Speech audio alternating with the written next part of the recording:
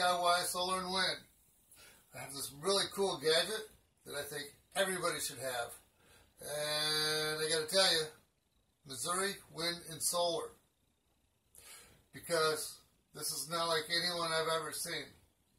Because I have two different battery banks. And what am I going to do with these nine batteries once I hook up and I get the crimpers in for the huge battery bank down here?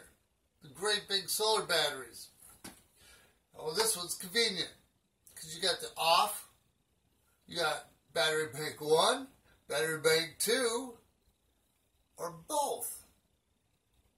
See, I have all these different batteries, so I'm loving this. So I'm thinking, while it's winter time, I'm going to get this battery bank fully charged up. Then I'm going to run off that one for a week. Then I'll switch it. That way, both battery banks are being used regularly. They're going to stay strong. They're going to be good. I got a backup. And if the grid goes down, I got one battery bank to work on. I got this for reserve. Pretty damn awesome. Missouri Wind and Solar. It's called E-Series Battery Switch. Four position selector switch. I don't think you can see that. There you go. Off.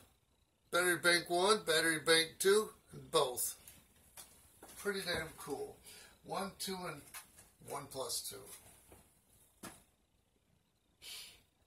I don't remember what that was. Could be 30, could be 60. But I, was, I just got paid the Christmas bonus. I was, I thought that was a pretty good find. Best one. Everything's expensive. Normally I get everything from eBay because it's free shipping and handling on pretty much anything that I get for the, the, the solar and the off-grid stuff. But Missouri Wind and Solar is worth paying shipping and handling for such items like that. All right, I'm out of here. Have a nice sunny day.